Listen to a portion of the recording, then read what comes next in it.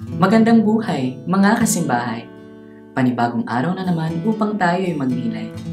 Samahan ninyo ako, ating pakinggan ang Ebanghelyo sa araw na ito.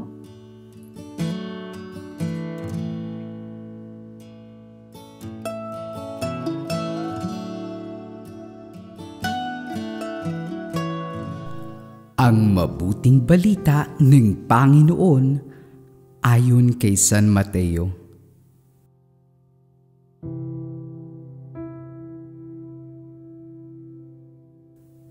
Noong panahong iyon, sinabi ni Jesus sa kanyang mga alagad, Pag-ingatan ninyo na huwag maging pakitang tao lamang ang paggawa ninyo ng mabuti.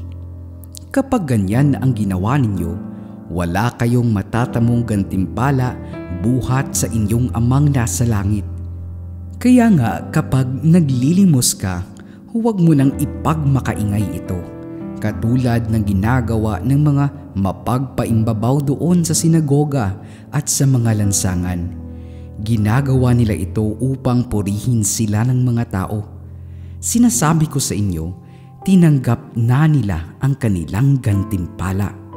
Ngunit kung naglilimos ka, huwag mo nang ipaalam ito kahit sa iyong pinakamatalik na kaibigan upang malihim ang iyong paglilimos at gagantihan ka ng iyong amang nakakikita ng kabutihang ginagawa mo ng lihim.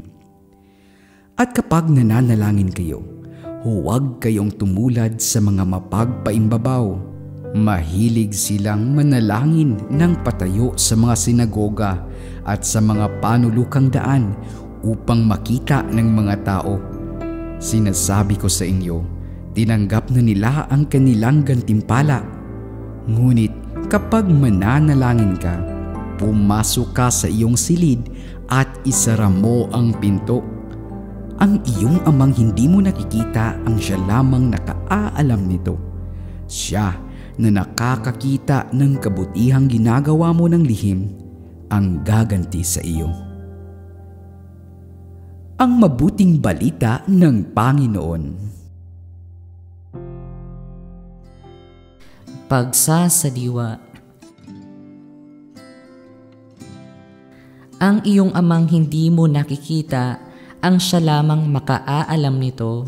Siya na nakakakita ng kabutihang ginagawa mo ng lihim ang gaganti sa iyo. Isang ginang ang nagreklamo. Tapat ako sa panalangin at hindi ko nakakaligtaang magdasal araw at gabi. Subalit bakit tila hindi pinakikinggan ng Diyos ang aking panalangin? Kung ang tao ay umaasang tutugunin ng Diyos ang kanyang panalangin, dapat wala siyang inililihim sa Diyos. Hindi naman masama na naising tugunin ng Diyos ang panalangin. Ngunit baka nakalimutan nating tapusin ang panalangin sa mga katagang, ang kalooban mo, Panginoon, ang siyang masusunod. Ang biyaya at pagmamahal ng Diyos ay hindi maaaring tumbasan sa pamamagitan ng ating mga ginagawa sapagkat ito ay regalo sa atin.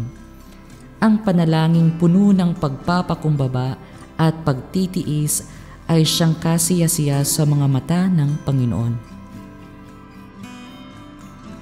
Pagsasagawa Laging may sagot ang bawat panalangin. Minsan, oo. Minsan, hindi. At madalas, hindi muna. Dahil may inihahanda pa ang Diyos para sa atin. Naway matutunan nating yakapin ang kanyang kalooban.